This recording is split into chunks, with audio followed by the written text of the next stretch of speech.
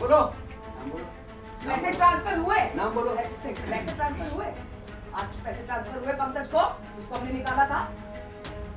अच्छा किससे पूछ रहे तुम? अच्छा कोई है यहाँ पे? नाम बोलो नाम। नाम। नाम जल्दी। जल्दी जल्दी। दो मिनट के अंदर नाम। अपना नाम लो किसी और का नाम लो। जल्दी दो मिनट। जल्दी नाम लो। नाम। इसके अलावा कुछ नाम। सिर्फ़ नाम। सिर्फ़ किसके नाम। बोलने पे नाम, पैसे नाम, ट्रांसफ़र नाम, किए नाम, उसको? नाम। जिसको वीडियो में सुशांत के लिए काम करने वाले रजत मेधावी को जेल भेजने की धमकी दे रहे शख्स सुशांत के बहनोई सिद्धार्थ हैं। साथ ही वीडियो में जो आवाज़ आ रही है वो सुशांत की बहन प्रियंका की बताई जा रही है। वीडियो में सुशांत के जीजा उसे सात साल के लिए जेल भेजने की धमकी देते नज़र आ रहे हैं। एक बार आप फिर से देखिए रजत मेधावी को धमकी देने का ये वीडियो। नाम बोलो नाम बोलो।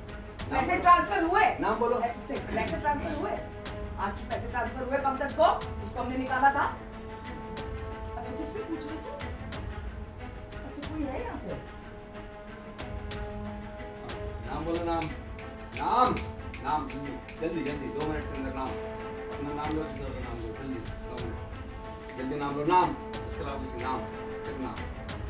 किसके। बोलने पे पैसे ट्रांसफ़र किए उसको जिसको? सिर्फ़ नाम। और कुछ नहीं। मैं जाने नहीं दूँगा बाहर अरे मैं पुलिस बुला रही हूँ तुम बात क्या कर रहे हो? अब तक आपको समझ में आ गया होगा कि तीन लोगों के बीच ये बातचीत पैसे के किसी गड़बड़ झाले को लेकर हो रही है। आइए आपको इसकी पूरी कहानी बताते हैं। ये वीडियो 3 अप्रैल 2019 का बताया जा रहा है। वीडियो में दिखाई दे रहा है कि बहन और बहनोई सुशांत के एक स्टाफ रजत मेधावी से सवाल जवाब कर रहे हैं।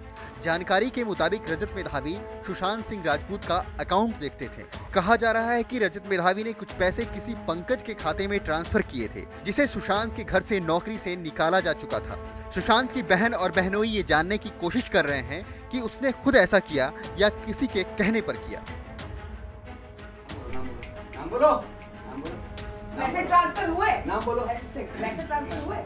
आज पैसे ट्रांसफ़र हुए पंकज को जिसको हमने निकाला था।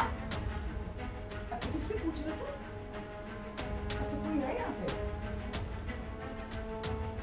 नाम बोलो नाम। नाम नाम। जल्दी जल्दी जल्दी दो।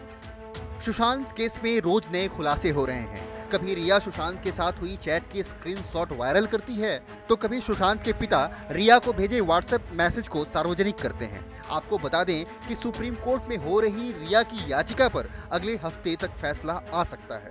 गुरुवार को सभी पक्षों ने अपनी लिखित जवाब सुप्रीम कोर्ट में सौंप दिए। 14 जून को सुशांत का शव मुंबई स्थित अपने फ्लैट में पंखे से लटका मिला था। मुंबई से दिव्येश सिंह, बिहार तक।